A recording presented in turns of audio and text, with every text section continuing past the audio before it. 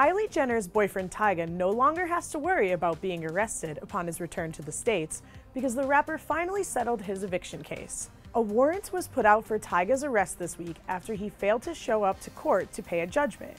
But the property lawyer said in a statement that the rapper has settled his debt and, quote, all parties are satisfied.